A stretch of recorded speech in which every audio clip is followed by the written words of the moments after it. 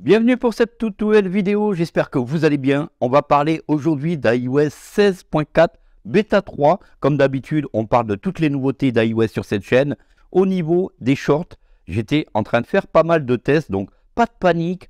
Lorsque vous tombez sur une petite vidéo de une minute ou un peu moins d'une minute, c'est la toute nouvelle version des vidéos YouTube, les shorts. Les shorts, c'est quoi? C'est de faire une petite vidéo ultra rapide. Alors j'ai testé cette fonctionnalité pendant plusieurs jours en mode malvoyant et j'ai trouvé ça assez sympa. Donc, vous inquiétez pas, on revient avec de nouvelles vidéos. On va pas dire qu'iOS 16.4 est une révolution et normalement iOS 16.4 arrivera à la fin du mois. Côté accessibilité, c'est pas top. Depuis iOS 16, les bugs sont bel et bien présents. L'une des plus grosses nouveautés d'iOS 16.4 lors de la première bêta, c'était la possibilité d'éteindre son iPhone à la voix. Et ça, pour l'instant, je l'ai vu compatible sous un iPhone 10, sous un iPhone 12 et sous un iPhone 14. Donc apparemment, éteindre son iPhone via un raccourci, via l'application raccourci, ça sera entièrement faisable. Alors, aujourd'hui, cette version, elle comporte quoi? Pour cette première nouveauté iOS 16.4 Beta 3, côté Carkey, une nouveauté. Alors, en plus du NFC, il faudra donc que vous soyez équipé de la puce U1 pour que Carkey puisse déverrouiller votre véhicule. Puisque Apple s'est aperçu que certains véhicules n'étaient pas assez sécurisés, alors avec iOS 16.4 Beta 3, on a une sécurité supplémentaire.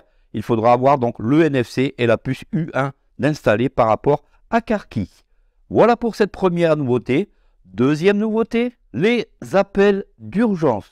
On aura donc la possibilité de cocher une case. Vous allez vous diriger donc dans Réglages, dans Appel d'urgence. Et là, vous allez retrouver un nouvel item qui va être donc Appel d'urgence silencieux, Appel d'urgence en silence. Vous allez cocher cette case pour lancer un appel d'urgence pour éviter que votre iPhone ameute toute la population lorsque vous lancez un appel d'urgence. Donc ça, c'était la deuxième nouveauté de iOS 16.4 Beta 3. Allez, on passe à la troisième nouveauté iOS 16.4. Alors apparemment, dans Apple Music, Apple Music classique, et apparemment, ça bougerait dans le code. Il y aurait quelques mouvements qui montreraient que peut-être qu'à la version finale, iOS 16.4 sortirait avec Apple Music classique à voir à la sortie de iOS 16.4 finale pour tous. Et ça sera donc à la fin du mois de mars.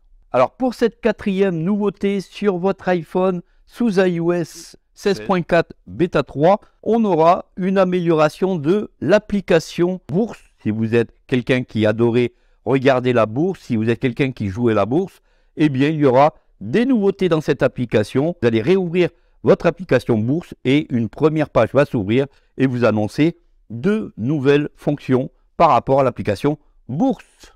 Cinquième nouveauté, on va retrouver en fait dans cette toute nouvelle version iOS 16.4 Beta 3. Depuis iOS 16, l'application Livre avait perdu l'animation du mouvement des pages. Vous savez qu'on avait une possibilité pour les personnes malvoyantes ou les personnes voyantes de voir lorsqu'on tournait une page, de voir une animation super sympa et Apple l'avait supprimé depuis iOS 16 et ça on le retrouvait dans le menu réglages et lorsqu'on allait dans le livre on va pouvoir maintenant cocher la case et retrouver l'animation du mouvement de la page lorsqu'on tourne une page. C'est assez sympa à la place du glissement. C'est plutôt cool. Et maintenant en plus depuis iOS 16.4 bêta 3 le menu est passé en français et pour terminer, en fait, vous savez que on pouvait télécharger des profils utilisateurs pour les développeurs. On pouvait tester les versions iOS